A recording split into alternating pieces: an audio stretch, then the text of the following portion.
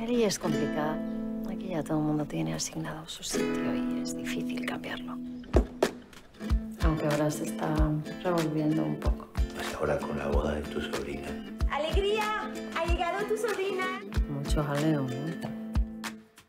Eh, dejadme un ratito tranquilo con mi prometida, ¿eh? Aguanta el tirón y ya está. Se nota que no tienes una familia judía. Las familias son todas iguales.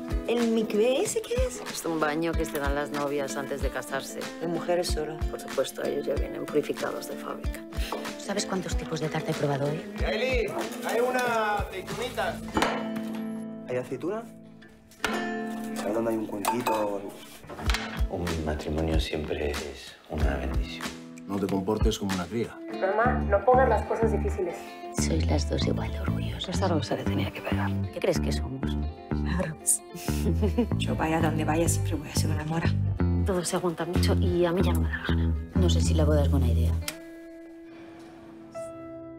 Quiero vivir alegría, solo sentir alegría. No soy una niña y no estoy sola. Me he hartado. Pues hace muy bien. Para juntos de nuevo Como Dios no podía estar en todas partes, hizo a las madres.